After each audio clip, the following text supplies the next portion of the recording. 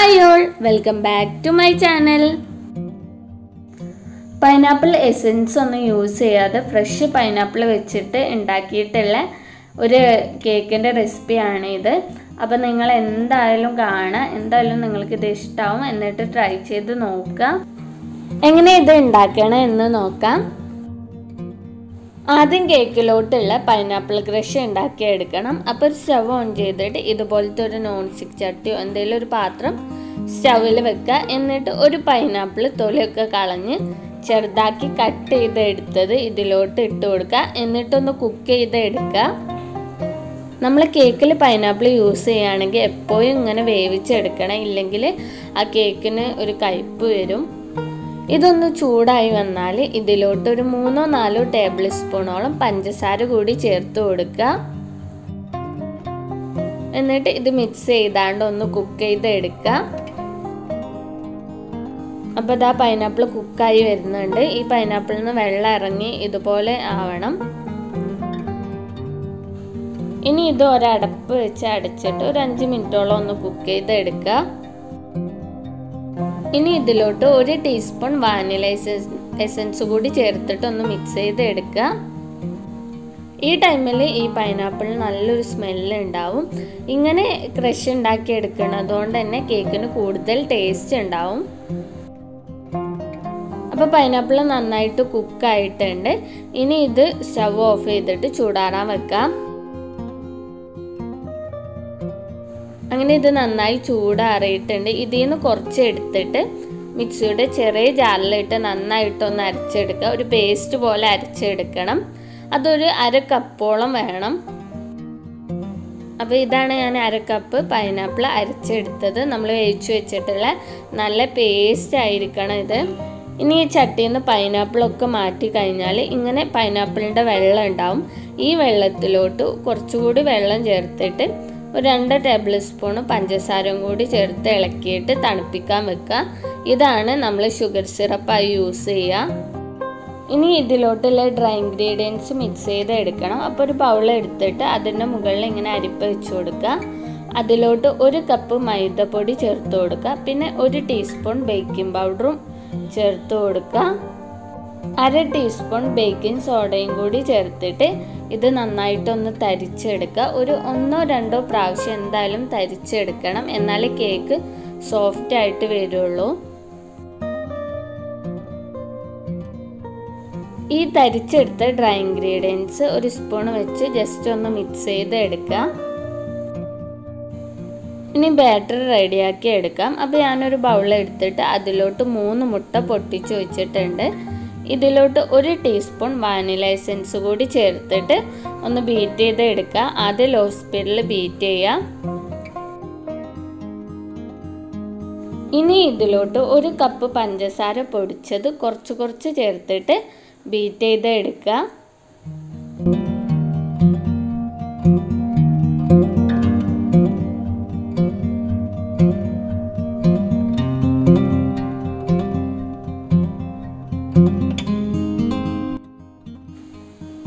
പഞ്ചസാര മിക്സായി വന്നാൽ ഇതിലോട്ട് യെല്ലോ ഫുഡ് കളർ ചേർത്ത് കൊടുക്കുക. ഇത് ഓപ്ഷണലാണ് നിങ്ങൾ ഞാനൊരു ഭംഗിക്ക് വേണ്ടിയാണ് ചേർക്കണത് നിങ്ങളെ കയ്യിൽ ഉണ്ടെങ്കിൽ മാത്രം ചേർത്താൽ മതി. പിന്നെ നിങ്ങൾ ഇനി പൈനാപ്പിൾ എസെൻസ് ആണ് ചേർക്കണമെന്നുണ്ടെങ്കിലും ഈ ടൈമിൽ വേണം ചേർത്ത് കൊടുക്കാൻ. എന്നിട്ട് വീണ്ടും ബീറ്റ് ചെയ്യുക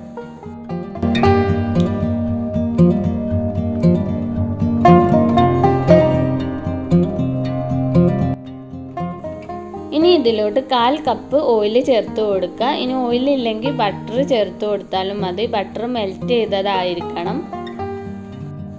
എന്നിട്ട് വീണ്ടും ബീറ്റ് ചെയ്യാം ഇനി ഇതിലോട്ട് നമ്മൾ നേരത്തെ അരച്ചെടുത്തിട്ടുള്ള പൈനാപ്പിൾ ക്രഷ് ഇല്ലേ അത് ചേർത്ത് കൊടുത്തിട്ട് ഒന്ന് മിക്സ് ചെയ്ത് എടുക്കുക ഒരു സ്പാച്ചിലോ ചട്ടകോ ഒക്കെ വെച്ചിട്ട് മിക്സ് ചെയ്യാം ബീറ്റർ യൂസ് ചെയ്യരുത്. അതുപോലെ തന്നെ ഹാൻഡ് വിസ്കും യൂസ് ചെയ്യരുത്.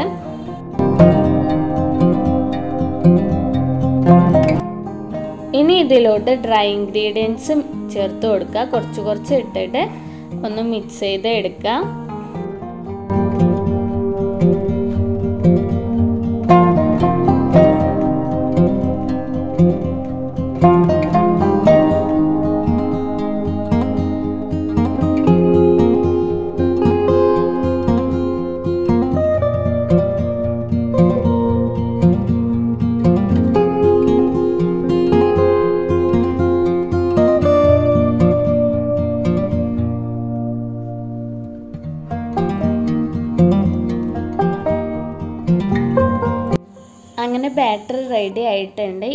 നമ്മൾ എന്തിലാണോ ബേക്ക് ചെയ്തെടുക്കണത് അതിലോട്ട് ഒഴിച്ചു കൊടുക്കുക. ഞാനിവിടെ ഒരു നോൺ സ്റ്റിക്ക് പാനിലാണ് ബേക്ക് ചെയ്തെടുക്കണം. അപ്പോൾ അത് ഓയിലൊക്കെ തേച്ച് റെഡിയാക്കി വെച്ചിട്ടുള്ളതാണ്. അതിലോട്ടാണ് ഞാൻ ഈ ബാറ്റർ ഒഴിച്ചു കൊടുക്കുന്നത്. ഇത് ഇനി ഒരു മുപ്പത്തഞ്ച് ടു നാൽപ്പത് മിനിറ്റോളം ഒന്ന് ബേക്ക് ചെയ്തെടുക്കണം. അപ്പോൾ ഞാൻ ആദ്യം പ്രീ ഹീറ്റ് ചെയ്യാൻ വെച്ചിട്ടുണ്ട്. സ്റ്റവ് ഓൺ ചെയ്തിട്ട് ഇങ്ങനെ ഒരു പഴയ തട്ട് വെച്ചിട്ട് അതിന്റെ മുകളിലാണ് ഞാൻ ഈ നോൺ സ്റ്റിക്ക് പാന് വെച്ച് കൊടുക്കുന്നത്. എന്നിട്ട് ഇത് അടച്ച് വെച്ചിട്ട് ഒരു മുപ്പത്തഞ്ച് ടു നാൽപ്പത് മിനിറ്റോളം എന്തായാലും ബേക്ക് ചെയ്ത് എടുക്കണം. അങ്ങനെ ഒരു നാൽപ്പത് മിനിറ്റ് കഴിഞ്ഞിട്ട് സ്റ്റവ് ഓഫ് ചെയ്തു. എന്നിട്ട് ഒരു പതിനഞ്ച് മിനിറ്റ് കഴിഞ്ഞ ശേഷമാണ് ഞാൻ അടപ്പ് തുറന്ന് നോക്കുന്നത് അപ്പോൾ നമ്മളെ കേക്ക് റെഡി ആയിട്ടുണ്ട്. ഇങ്ങനെ ഒരു സ്റ്റിക്ക് എന്തെങ്കിലും വെച്ചൊന്ന് കുത്തി നോക്കുക. ഇത് വെന്ത് വന്നിട്ടുണ്ടോ എന്നുള്ളത്. നമ്മൾ നേരത്തെ വേവിച്ച് വെച്ചിട്ടുള്ള പൈനാപ്പിളിന് കുറച്ചെടുത്ത് ക്രഷ് ഉണ്ടാക്കിയിട്ട് ബാറ്ററിൽ ചേർത്തു. ഇനി ബാക്കിയുള്ളതിൽ നിന്ന് കുറച്ചെടുത്തിട്ട് ഒന്ന് മിക്സിയിലിട്ട് അരച്ചെടുക്കുക. അരച്ചെടുത്ത ആ പേസ്റ്റ് ഈ ബാക്കിയുള്ള ഈ പൈനാപ്പിളിലോട്ട് ചേർത്ത് കൊടുത്താണ്ട് ഒന്ന് ഇളക്കി മിക്സ് ചെയ്ത് എടുക്കുക ഇനി നമുക്ക് കേക്ക് ഡെക്കറേറ്റ് ചെയ്ത് തുടങ്ങാം അപ്പോൾ ഞാൻ ടേൺ ടേബിളിൽ ഒരു കേക്ക് ബോർഡ് വെച്ചിട്ട് അതിന്റെ മുകളിൽ നമ്മൾ സ്പഞ്ച് കേക്ക് വെച്ചിട്ടുണ്ട്. ഇത് നന്നായിട്ട് പൊന്തിയൊക്കെ വന്നിട്ടുണ്ട്. ഒരു മൂന്ന് ലെയർ എന്തായാലും നമുക്ക് ഇതിൽ നിന്ന് കട്ട് ചെയ്ത് എടുക്കാം. പിന്നെ വേണ്ടത് നേരത്തെ തയ്യാറാക്കിയിട്ടുള്ള പൈനാപ്പിൾ സിറപ്പ് പിന്നെ വേണ്ടത് പൈനാപ്പിൾ ക്രഷ് നമ്മൾ നേരത്തെ അരച്ചെടുത്ത പൈനാപ്പിളും ബാലൻസ് ഉള്ള പൈനാപ്പിളും കൂടി മിക്സ് ചെയ്ത് എടുത്തിട്ടുള്ള ക്രഷാണിത് പിന്നെ വിപ്പിംഗ് ക്രീമാണ്. വിപ്പിംഗ് ക്രീം ബീറ്റ് ചെയ്യണ ഡീറ്റെയിൽ ആയിട്ടുള്ള വീഡിയോ ഞാൻ വൈറ്റ് ഫോറസ്റ്റ് കേക്കിന്റെ റെസിപ്പിയിൽ കാണിക്കുന്നുണ്ട് അപ്പം അത് കാണാത്തവരുണ്ടെങ്കിൽ അത് പോയി ഒന്ന് കാണാൻ ലിങ്ക് ഞാൻ ഡിസ്ക്രിപ്ഷൻ ബോക്സിൽ കൊടുക്കുന്നുണ്ട്. ആദ്യം സ്പഞ്ച് കേക്ക് മൂന്ന് ലെയർ ആയിട്ടൊന്ന് കട്ട് ചെയ്ത് എടുക്കുക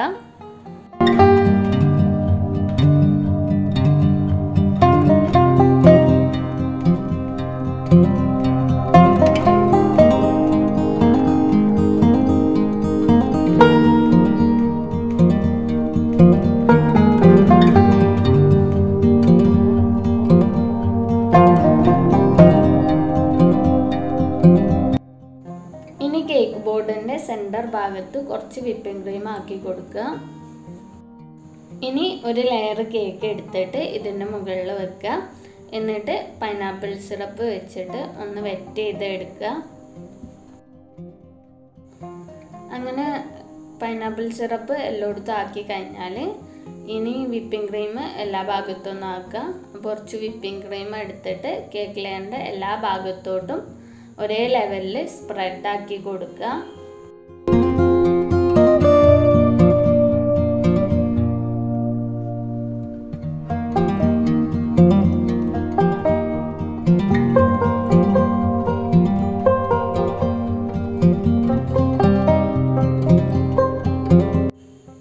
വിപ്പിംഗ് ക്രീം എല്ലാ ഭാഗത്തും ആക്കി കഴിഞ്ഞാൽ ഇതിന്റെ മുകളിൽ ഇനി പൈനാപ്പിൾ ക്രഷ് ഇട്ട് കൊടുക്കുക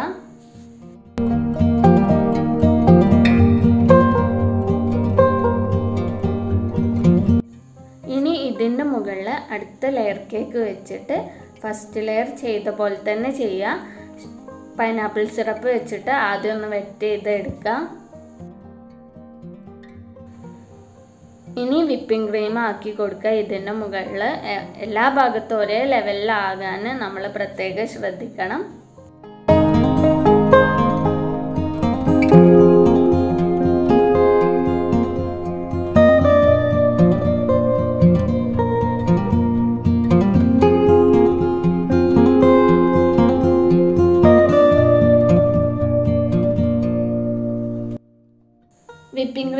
സ്പ്രെഡ് ചെയ്ത് കഴിഞ്ഞാൽ ഇനി ഇതിന്റെ മുകളിൽ പൈനാപ്പിൾ ക്രഷ് ഇട്ട് കൊടുക്കുക.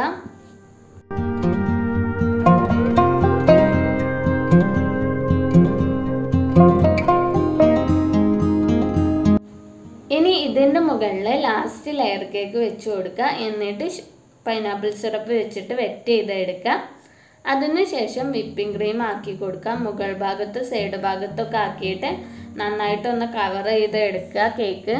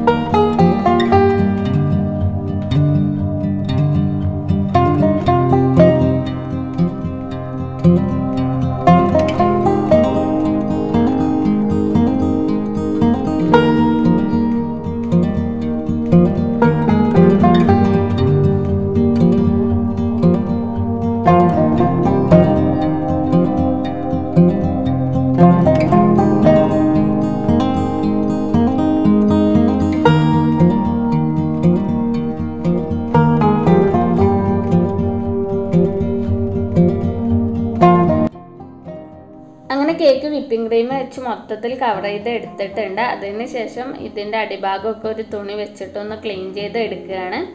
ഇതിന് ശേഷം ഞാൻ ഇത് നേരെ ഫ്രിഡ്ജിൽ വെച്ചു. ഇനി കേക്ക് ഡെക്കറേറ്റ് ചെയ്യാനുള്ള പൈനാപ്പിൾ കേക്ക് ജെല്ല് തയ്യാറാക്കി എടുക്കണം. അതിന് ഞാൻ കുറച്ച് പൈനാപ്പിൾ ജ്യൂസ് ഒരു അരിപ്പയിൽ അരിച്ചിട്ട് ഒരു ചട്ടിയിലോട്ട് ആക്കി കൊടുക്കുന്നുണ്ട്. ഇതിലോട്ട് ഒരു രണ്ട് ടേബിൾ സ്പൂൺ കോൺഫ്ലോറും പിന്നെ കുറച്ച് വെള്ളം മിക്സ് ചെയ്തത് കട്ടയില്ലാതെ മിക്സ് ചെയ്ത് എടുത്തത് ചേർത്ത് കൊടുക്കുക. കോൺഫ്ലോർ ചേർത്ത ശേഷം ഇതൊന്ന് മിക്സ് ചെയ്ത് എടുക്കുക.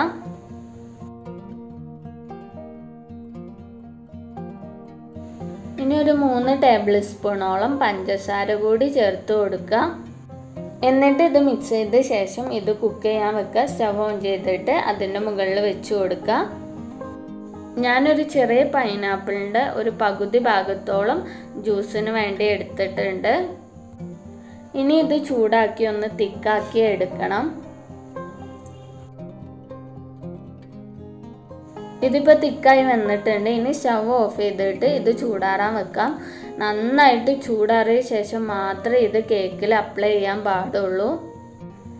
അങ്ങനെ ഇത് ചൂടാറിയിട്ടുണ്ട്. ഇത് ഞാൻ ഇനി ഒരു ബോട്ടിലോട്ട് ആക്കി കൊടുക്കുകയാണ്.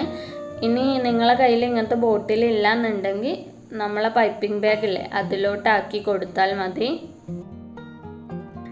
കേക്ക് നന്നായി തണുത്തിട്ടുണ്ട്. കേക്ക് തണുത്ത ശേഷം മാത്രമേ ഈ പൈനാപ്പിൾ കേക്ക് ജെല്ല് കേക്കിൽ അപ്ലൈ ചെയ്യാൻ പാടുള്ളൂ. ഞാനിത് സൈഡ് ഭാഗത്തൂടെ ഒരു ഡ്രോപ്പ് ആക്കിയിട്ടാണ് ചെയ്യുന്നത്. നിങ്ങൾക്ക് ഇഷ്ടമുള്ള രീതിയിൽ ചെയ്യാവുന്നതാണ്. ഡെക്കറേഷനൊക്കെ നിങ്ങളെ ഇഷ്ടത്തിനനുസരിച്ച് ചെയ്യാവുന്നതാണ്. ഞാനിപ്പോൾ ഒരു സിമ്പിളായിട്ടുള്ള പൈനാപ്പിൾ കേക്ക് തന്നെ ചെയ്യണ. ഒരു ഡെക്കറേഷനാണ് ഈ വീഡിയോയിൽ കാണിക്കുന്നത്.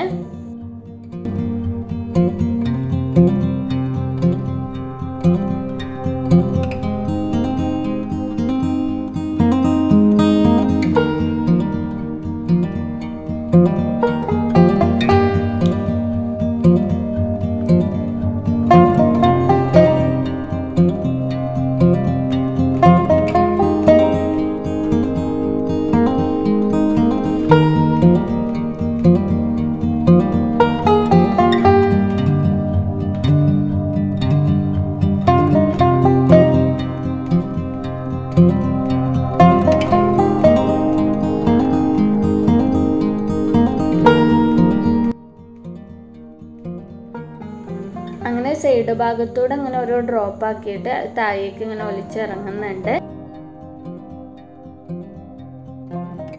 കേക്കിന്റെ മുകൾ ഭാഗം മൊത്തത്തിൽ ഞാൻ ഈ കേക്ക് ജെല്ല് വെച്ചിട്ട് കവർ ചെയ്ത് എടുക്കുന്നുണ്ട്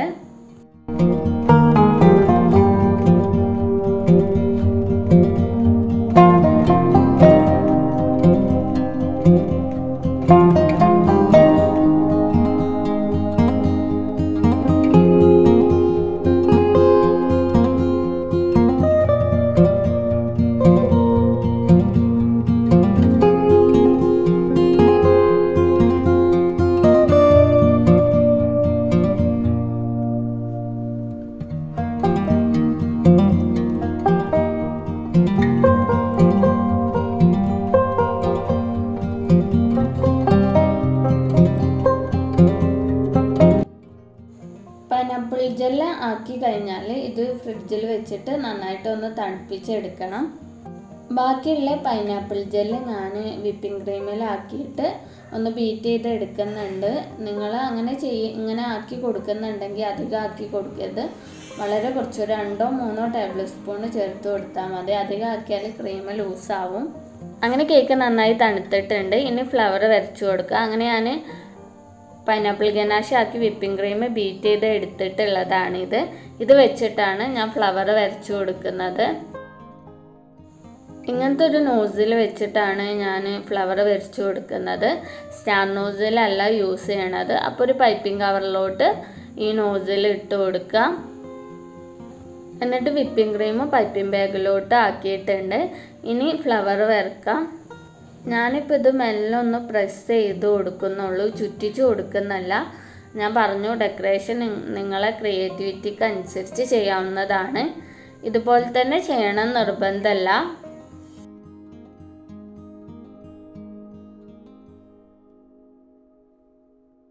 അങ്ങനെ ഫ്ലവറൊക്കെ വരച്ച് കഴിഞ്ഞിട്ടുണ്ട്. ഇനി ഇതിന്റെ സെന്റർ ഭാഗത്തൂടെ ഞാൻ സിൽവർ ബോൾ ഇട്ടിട്ടൊന്ന് ഡെക്കറേറ്റ് ചെയ്യുന്നുണ്ട്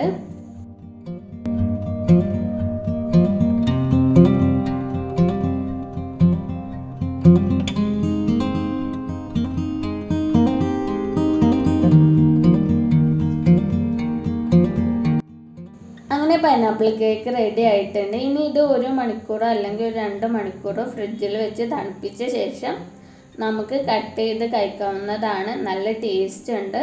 നമ്മൾ ആ ക്രഷൊക്കെ യൂസ് ചെയ്തുകൊണ്ട് തന്നെ ഒരു ടേസ്റ്റ് ഉണ്ട് ഈ കേക്കിന് അപ്പം നിങ്ങൾ എന്തായാലും ഒന്ന് ട്രൈ ചെയ്ത് നോക്കുക. എപ്പോഴും പറയുന്ന പോലെ തന്നെ വീഡിയോ ഇഷ്ടമായിട്ടുണ്ടെങ്കിൽ ലൈക്ക് ചെയ്യുക ഷെയർ ചെയ്യുക.